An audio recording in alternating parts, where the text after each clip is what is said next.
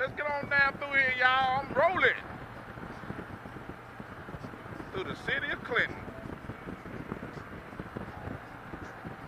Ride with me.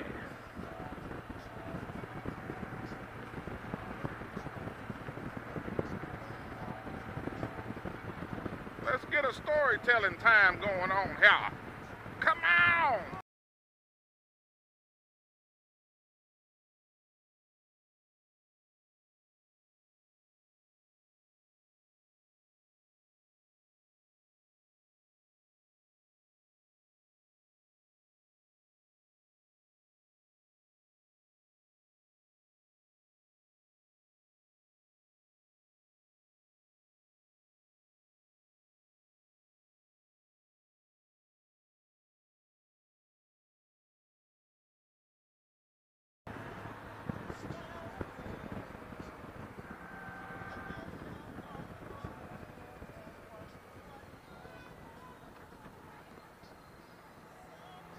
Us a good storytelling time. I'm gonna tell you a story about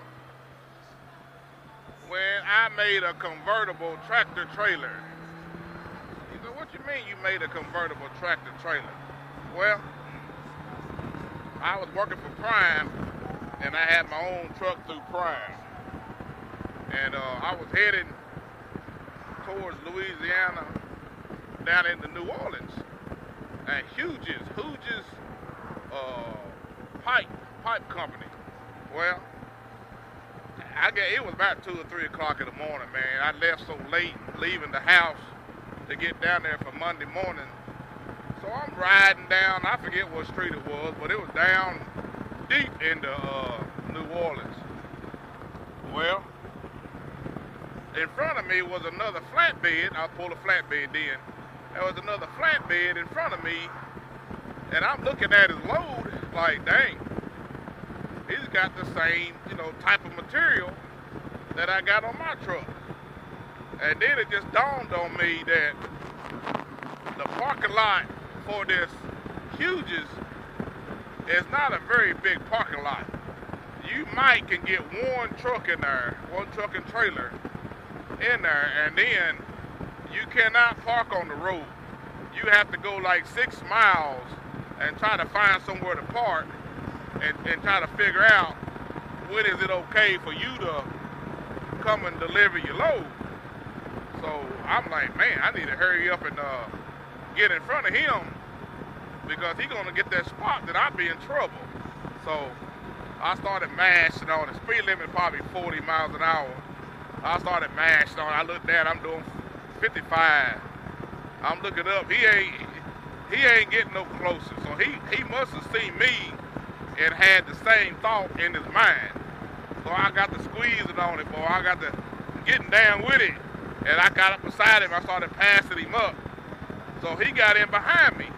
Well, in order to get to uh, that Huges, you had to go under a train trestle.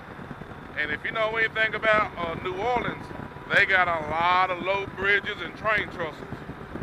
Well, I always get the mid roof. If you, uh, the Freightliner mid roof, that's the ones I always get. So when I got that mid roof, I can go under a lot of bridges and train trestles that somebody with a condo tractor trailer can't go under. And I'm like, man, surely he gonna go around you know, they got a little uh, service road or another way you can go around them train trestles.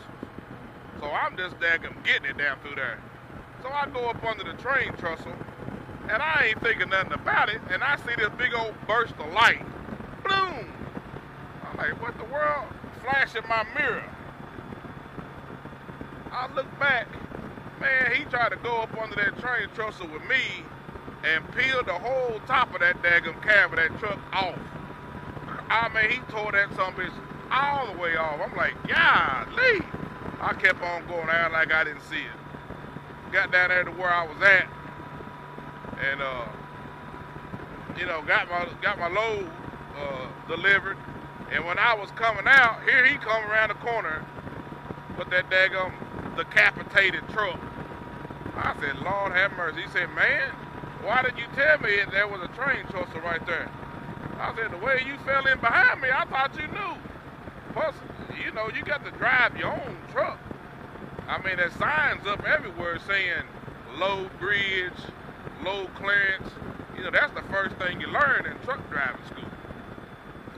But he tore the whole top of that badass car. I don't know what he ended up doing with that thing after that because it's pretty much total to me, I, I reckon. But that's one of my old trucker stories. How I daggone made a com what the hell? How I made a convertible tractor trailer. This dude is about to lose something.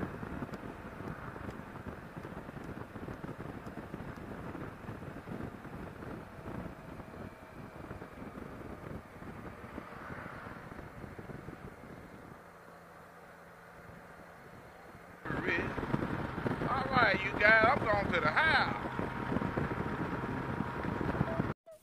Hey, stay tuned for more videos like this. Thanks for watching.